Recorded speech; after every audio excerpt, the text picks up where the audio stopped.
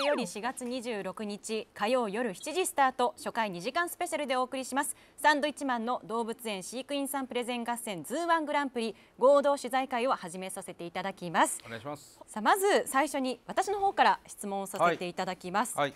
いよいよ今月26日の火曜夜7時からレギュラー番組としてスタートになりますが、はい。初回の収録の感想をお聞かせください。あの名古屋で始まった番組なんですよ、これは CBC さん制作で、2年ぐらい前から、えー数ヶ月おきになんかポンポンと、でその時は我々が名古屋に行って、はい。えー名古屋の美味しいものを帰り食べながら、えー収録してて、そしたら今度なんかレギュラーになるって言われて。名古屋でレギュラーになるのかなと思ったら、まさか TBS の全国ネットでレギュラーになるということで、びっくりしましてですね、ねあのすごく動物園の、えー飼育員さんをメインにした番組なんですけれども非常に面白いですね。あのいろんな動物番組ありますけどこういう動物園をメインにした番組っていうのは多分なかったんじゃないかなと思いますね、だから見たければ行けるんですよねそこに、そうですね。うん。生でね。本当にあの動物園にすぐ行きたくなるような番組になっております。はい。はい、富澤さんどうですか？そうですね。あのコーナーで毎回あのイケメンの、はい。えー動物を決めるっていうコーナーがあライオンとかるんですけど、トラとかね。ね。今までねそんなに動物顔違うかって思ってたんですけど、見てみると全然違ったりするんで、うん。これは意外な発見だなと思いましたね。そうですよね。はい。で今回初回がですね動物のこだわり部門、イケメンカンガルー部門、あそしてえっと東京ホテイソンとロングコートダディがロケ行きまして、はい。長崎バイオパークでは日本一自由と豪語する動物園、うん。そしてロングコートダディさんはコアラの超貴重映像を撮影するというはいはいはいはい。ロケに行きましたけれども、そのあたりはどうですか？何か印象的なのは？あのコアラの貴重な映像を撮りたいってやつは面白かったね、ねえずーっと張って。そう。飼育員さんでもなかなか見れないシーンがね。抑えられたっていうことです。そうですね、うん。コアラのおしっこするシーンって見たことありますか皆さん？コアラがおしっこしてるシーンって実はそんなにね見ることがないんですって。うん。なんせすぐ終わるらしいんですよ。ねもう数秒でね。えねえ。あと場所も木じゃないんですよね。木じゃないんですよ、うん。下に降りてくるっていう。ね映像撮れたんでしょうか？ね。ぜひお楽しみに。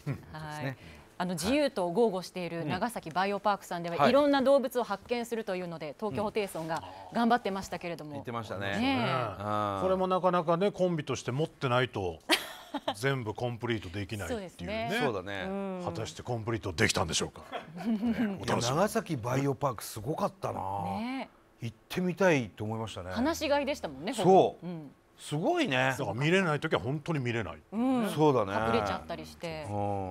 んそして海外の動物園もありましたけれども、はい。初回はベリーズという国の動物園でした、はい。あのジャガーの肉球タッチですとか 幻の猫マーゲーとかいろいろねこう触ったりとか結構ワイルドな、動物園でしたけれども、日本にもたくさん動物園あるけども世界の動物園ってもっとすごいんだなっていうのは、うんこれで知りましたね。ねえ、本当行ってみたくなるし、どっか旅行行ったらあそこの動物園行ってみようっていうのも思いますね。ね。えうん。ね選択肢に入りますよね。入るね、うん。子供も喜ぶしね。うん。そしてイケメンシリーズでは初回カンガルー。カンガルー。どうでした？カンガルーの顔の違い分かりました、体つきも違うカンガルーがいたりするんで、うん。はい。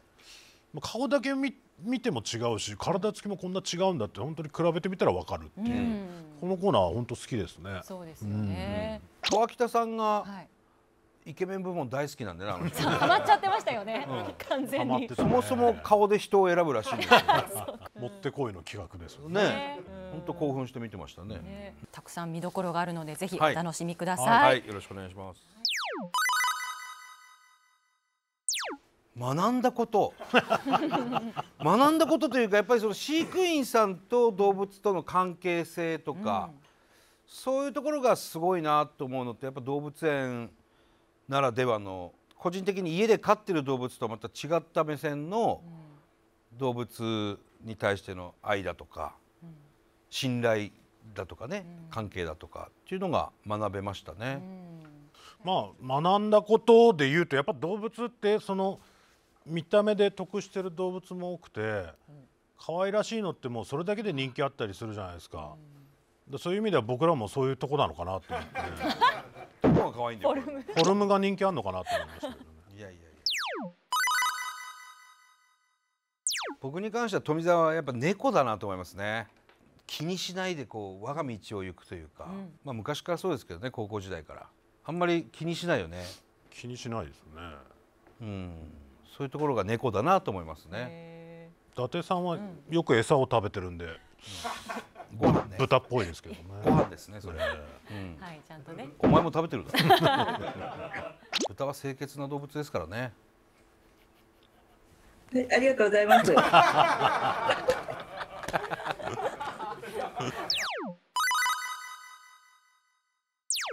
ロケに行く可能性は極めて高いと思いますねなぜロケ芸人ですから。やっぱ海外の動物園を見るコーナーもあるんですけどあれ見ちゃうとちょっと一回海外の動物園行ってみたいなと、まあいろいろね落ち着いたらっていうことになってくるんでしょうけど、すごいね。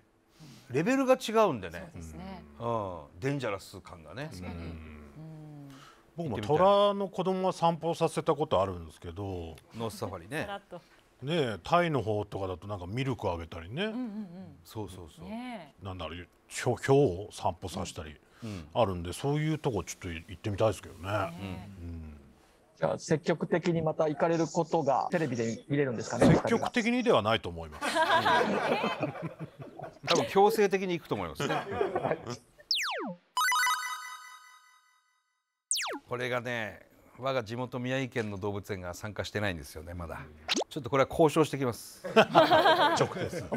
はい。直談判で。直談判で交渉したいなと思いますけどね、うん。まあオンエアを見ていただいて。そうですね。うん。うん。なるべくあの遠くの動物園は直接言っときます。話が早い。あの富澤さんあの動物の中でも最近はあの警察犬に興味があるんじゃないかなと思ったりしたんですけども、ちょっえーと何言ってるかわかんない。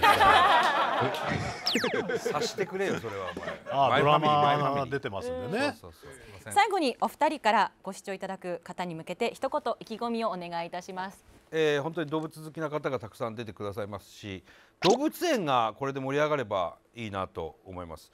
あのーまあ、コロナ落ち着いて全国各地旅行がね行けるようになったら、あああの地域にあんな動物園確かにあったなテレビでやってたなっつってその動物園行くとか、まあ、お子さんも親御さんも喜ぶと思うんで、ぜひぜひそうやって癒されてほしいですね。まあ本当にあまりいいニュースがない世の中ですけど、動物に癒されるのはすごくいいと思いますねこの時期。ありがとうございます。富澤さんお願いします。もうね実は3本ぐらい撮ってるんですけど、なかなかオンエアしないで本当にやんのかなと思ってます あとちょっとです。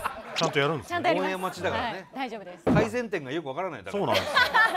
ここをこうしたいっていうのを見ないとちょっとわからない。シャープ4からガラッと変わる可能性がある僕もオンエア楽しみにしてます。ねはい。はい。ありがとうございまし見た改めて伊達さん富田さんどうもありがとうありがとうございました。ございました